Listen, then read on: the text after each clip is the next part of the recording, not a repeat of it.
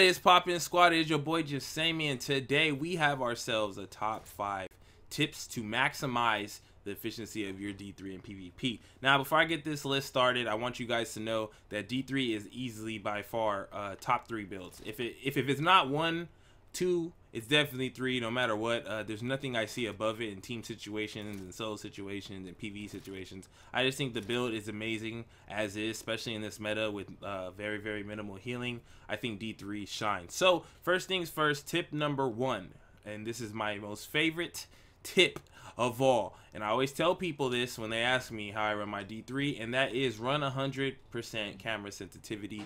And the reason is because a lot of people run like this. So when they are to D3, this is how they move, right? I don't know why their sensitivity are this low, but all you have to do is run around them and boom, that's that. But with 100 sensitivity, it's really hard for an agent to get behind you, especially at medium range. Like let's say they're at where this brick is at. By the time they try to get around, it's extremely hard for them to get around and face tank long enough to be able to do any subsequent damage to you. So I think a lot of people have this problem uh, where it's low sensitivity because they feel like they can't aim like that. But with D3, you got to realize this. Um, looking at your opponent is everything. You want to keep your eyes on the opponent. You have to have um, your awareness up on like maximum because you are very important to the team. You want to get those buffs off. You want to try to soak up as much damage as possible by gaining natural aggro, right? Because when some players like seeing D3s and they don't even try to focus them, right? But you need to get in their face and get annoying to the point where they have to take you seriously and thus those procs come. So obviously running high sensitivity is one good thing because if they do decide to try to flank you to try to get you out of the equation,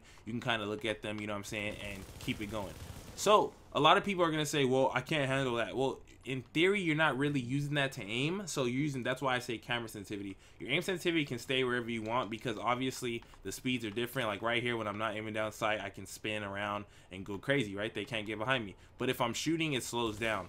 And obviously, you want to be in positions. If you're shooting, you want them to be in front of you. And if they try to go, you stop shooting and you get in position. That's how you're supposed to run D3. Do not try to hit fire. Do not do that. If you're going to shoot with D3, having having the sensitivity, aim down sight because if you try to hit fire the speed is going to be at the 100 and some of you guys can't handle that and i understand that so that's tip number one okay tip number two and a lot of people don't do this and i don't know why uh, maybe it's because it's just something that i've developed but when you get that proc and your shield is low don't sit there and let them just beam your shield. Do not be afraid to start strafing, to start moving around, you know, to, to start putting damage on if you can use your cover. You know what I'm saying? A lot of people like like you situations like this, right? Your shield doesn't have to take damage when you're like this. It's it's like natural cover. Use your cover when your shield's low and run around when you have that buff on if you don't want your shield to get destroyed. Because once your shield is destroyed it's really really hard for you to be effective on your team. You're, you're pretty much relying on your toughness at that point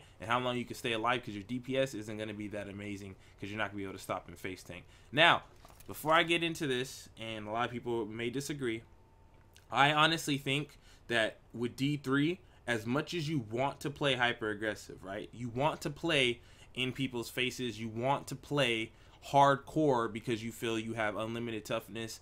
No, that's not how you play D3 efficiently. You play D3 based off that buff, right? So in funneling situations where you get somebody in a hallway, like this, I use this for example, this is when it's good to face tank, right? You face tank until your shield's, I don't know, half health, a little bit lower half health, then you retreat. But some players love to run in and try to take all because they know they could take the damage, and you pretty much jeopardize the flow of your team. The ideal situation when somebody's rushing is you once you get your buff, you start taking cover, and then you play it off. You know what I'm saying? That's how you optimize your shield's lifespan. That's how you optimize the buffs because what happens is a lot of players get one buff and then once they get that buff, they get overconfident and they rush and they end up losing their shield, which could have been a whole nother buff once that one was gone. So that's that's just something that I personally feel uh, that players really deal with, and I think that that's something that can be easily changed once you change your habits. Now, tip number three, and this is another tip that kind of it almost contradicts it, but at the same time it doesn't. Now, when your shield is knocked away, a lot of people are gonna think, oh well, you're pretty much useless. No, you're still a valuable player. Um, based off your toughness, and obviously if you're running it the right way, at 9k stamina, you're going to be tanky. So do not stop shooting somebody and do not disengage from the battle because you're waiting until your show comes back. If you do that, you're pretty much dooming your team as far as toughness. And I think a lot of players end up running around in circles and not even putting up even though they can pretty much do some good damage maybe even finish some kills off uh they're too worried about getting that d3 shield back and if they don't get it all of a sudden you know they they just lose all intent on fighting do not be that person you have to be the person that is going to engage that's going to be good and be able to come right back into the battle if not stay in the battle the whole time because once your shield comes back out even if you're like at 25% of your health, you're pretty much safe. All right, and tip number four always be the person that's rushing in front of your teammates. Your teammates follow you. You do not follow your teammates. It defeats the whole purpose. Uh, the first person that the enemies see is the per first person they're gonna beam. I promise you. Um, what you want to do is you want to have a little space between your team. You want to have I don't know maybe like a meter space where you're in front so that they have to focus you. They're not just going to completely ignore you. Let them put that free bullets into you, and then that's going to proc your buff, and it's going to have your teammates being able to push behind you and be able to capitalize before they're even in the gunfight already having that buff. And obviously, during as the fight goes, you'll be able to have that buff longer because you're gonna have that multiple procs. Now, the cool thing about that feature and the cool thing about like that strategy is even though players know not to shoot the shield, most players know if we shoot this shield, we're giving them a buff that's going to make them unkillable while this buff is up.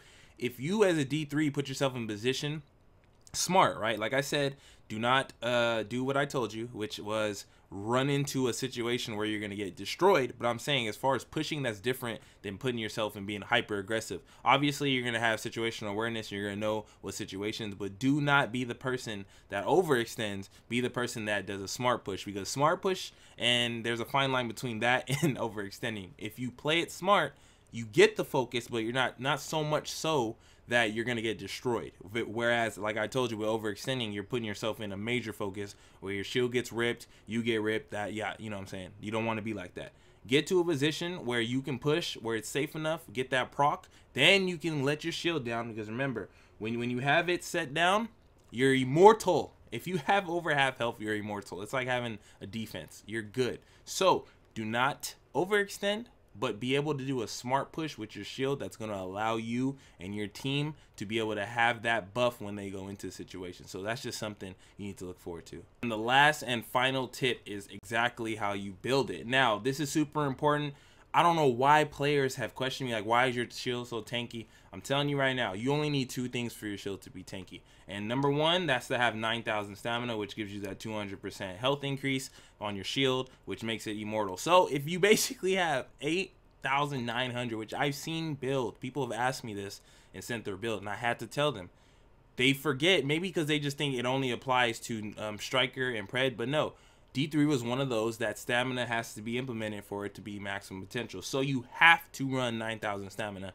Do not listen to anybody else. Anybody else who says do not run 9,000 stamina is lying to you and they're cheesing you out of being able to use your build. Run 9,000 stamina and also don't forget, people think just because they're in 9,000 stamina that their shield's going to be amazing. No, you want to cap your skill power around 125 and that's going to be able to give you the maximum potential of that shield. If you do not run skill power, you will feel an extreme difference in the health of your shield because skill power does apply to your shield and it has a soft cap uh, or I don't know if it's soft or hard or whatever you call it. Basically 125 minimum that's what you want to have. I had 120 before and I realized you can do extra 5,000. That's what you want to do. Maximize that shield. So these two things, stamina at 9,000, electronics at 126. It doesn't matter what your electronics itself is at. Just make sure that you get it to 126 skill power.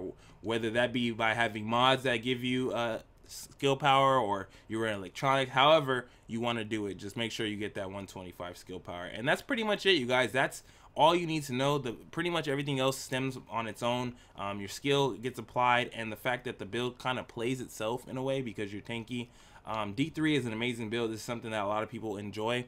And you know some people are, are calling a little bit too strong and I, I would understand why but at least that these players are, are getting some, some love um, throughout the DZ because D3 is extremely strong. So hopefully you guys um, enjoyed this and this these tips actually apply to you. And you know try them out. Let me know what you guys think. Let me know if they actually made you a better d3 player because they definitely made me a better one. So it's been real. Thank y'all so much for watching. Your boy is out.